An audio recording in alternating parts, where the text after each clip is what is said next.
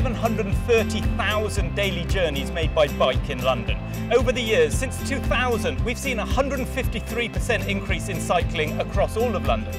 But in central London, the story's even better. We've seen a 253% increase since 2000. And that is a direct result of the investment in the cycle infrastructure that we've been putting in around the city. So I've been cycling for about seven years in London and definitely the infrastructure has got better. The new routes have proven hugely successful in terms of increasing the number of riders, and we are starting to see a change in the type of riders, getting more women, more children, older residents on bikes. I use it for about half a mile each day at the end of my commute, and it just makes it easier, easier to share the space. So these uh, major cycling facilities are now in. They're working, They've made a really huge change in London and they've made a huge change in the City of London. We have 40 miles of cycle superhighway rolled out at the moment. We're also building a quiet way network. That's just, those are smaller routes on some of the residential streets and back routes, allowing people to get around the city as part of their daily journeys. So what you can see behind me is a considerable difference physically. There's a big lane being created, four metres wide, for cyclists to go in both directions. And there are facilities there and, and curbs and islands and things to actually make sure there's physical segregation. That also provides occasional space for people who are crossing on foot to wait on. This is Blackfriars Bridge in the central London. You can see how protected the cyclists are away from the general traffic. On this route alone, at the busiest time of day, cyclists count for 70% of all the journeys going across this bridge. Compared with before this cycle lane was here, we've seen a 55% increase in the number of cyclists using this bridge on a daily basis. The London road network is very difficult to understand. So I think the biggest benefit for me of the cycle superhighways is that it gives you a point-to-point -point route network. So I know if I want to get from the center of the city out to the northwest, I can get on the superhighway and it's going to take me exactly radially where I want to go.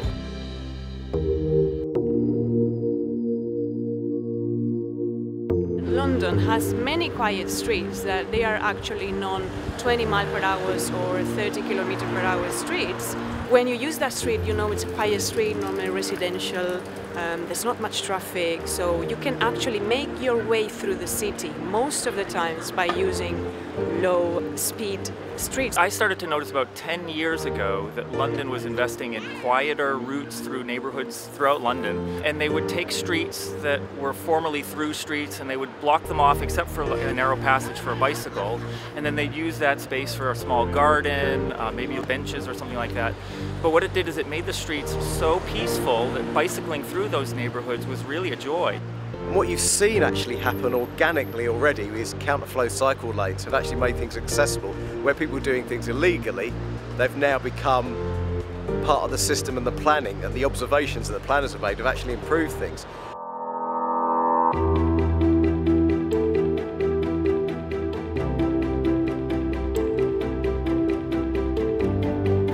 On the superhighways, you tend to have to stay in in flow and yeah, go at the speed, the pace that everyone else is going at. Those big, big bike lanes are really intense. I mean, people are biking fast, they know where they're going. There's an intensity on some of those things. It's like people are trying to get to work. This is not a leisurely thing.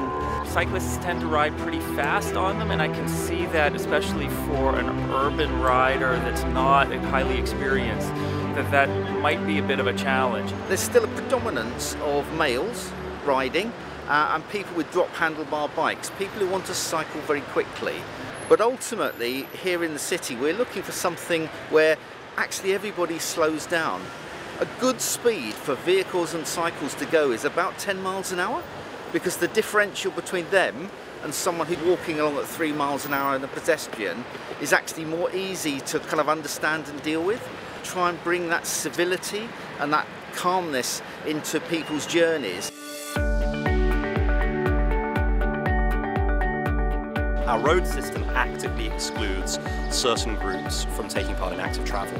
We see fewer women, fewer older residents, and almost no children whatsoever able to cycle on our streets.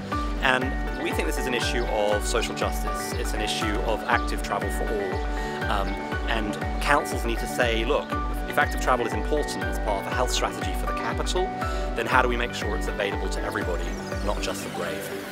When you have a bike lane and then it shifts to going in with the rest of the traffic, you have to be quite careful and I think that's when perhaps older people and people with children don't feel comfortable. We need to make sure that cyclists really reflect the diversity of London's communities. At the moment, sadly, they don't. And what we're doing is we're working with schools. Last year we trained over 40,000 children to cycle around, around London. We do the same thing with adults. 20,000 adults were trained so that they can cycle confidently and are familiar with London's infrastructure.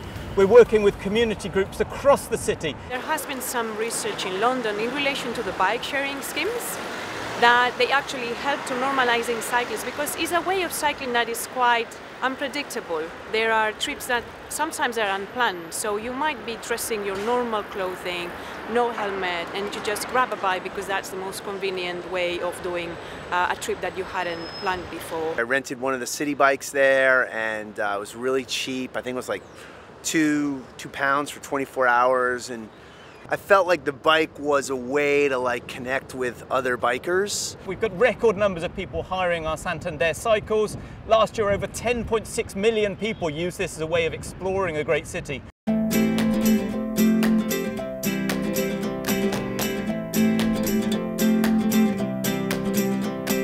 But what we're aiming for in our Mayor's transport strategy, the work that we're doing in London, is to radically change the way people move around our city, to shift it from 64% of people using bikes, walking and public transport to 80%. That's getting people out of their cars and using safer, more healthier and more sustainable modes of transport to get around the city. We've had far fewer vehicles during the day when most people are around We've seen really big improvements in air quality at certain locations. Uh, that's really good. People are having to change how they do things. Uh, so we're working really hard with businesses and delivery companies to ensure that more deliveries happen at night. We'd like to see the mayor move faster now on getting the routes rolled out.